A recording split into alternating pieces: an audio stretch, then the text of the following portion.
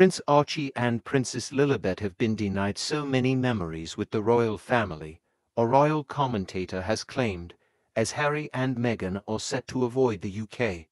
Archie and Lilibet have spent the majority of their lives in Montecito, California, and like their cousins and second cousins on the Duke of Sussex's side of the family.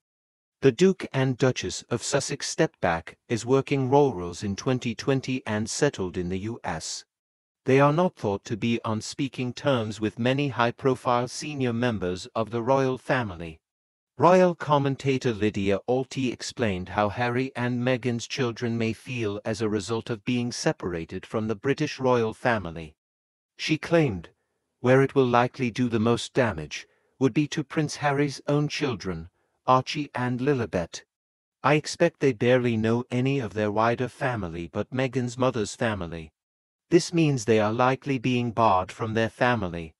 They are going to never get to know their cousins or their paternal grandfather, uncle and aunt and that can seriously affect a child, especially if their parents continue to burn bridges with the royals.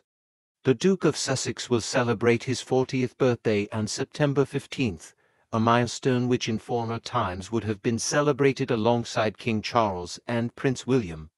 However, Alty claims this situation is unlikely. She continued, if you have a good and close relationship with your family, on an occasion like this you may celebrate all together at a meal or a party. This is something that will not happen for obvious reasons, which is taking so many memories away from the younger generations of royals. Following Harry's birthday, the Duke will be heading to New York for UN General Assembly High-Level Week and Climate Week. Climate Week begins on September 22nd and runs until September 29th, while High Level Week runs from September 23rd to September 27th. Prince Harry will be in New York to advance a number of his patronages and philanthropic initiatives, his spokesperson said. He will participate in engagements with African Parks, the Halo Trust, the Diana Award, and Travalyst.